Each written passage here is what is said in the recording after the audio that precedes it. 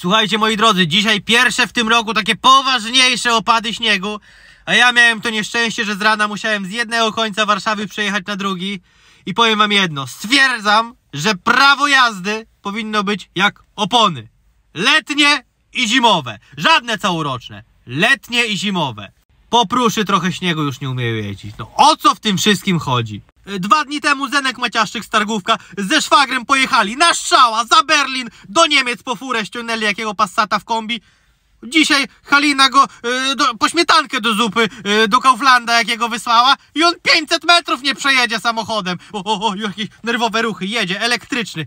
No co się dzieje? Już nie wspominam o tym, że niektórzy to na letnim, bo widzę hamuje i on sunie się.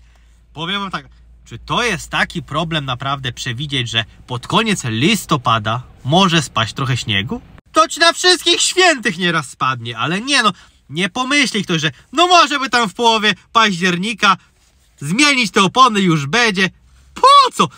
Mieczysław se myśli, eee, ja potrzymam do Andrzeja, po Andrzeja się wymieni, co to w listopadzie będę wymieniał, no, może nie będzie padało. Nie wymieni, a potem baletnica na ulicy, kręci bączki, niczym małolaci starą betą na parkingu pod Lidlem. No mi się wydawało, że jedziesz samochodem, to ten samochód, no, jedzie tak samo, tu do przodu, tu się skręca, no, i jedziesz sobie normalnie, czy to zima, czy to lato, ale nie, nie w Polsce.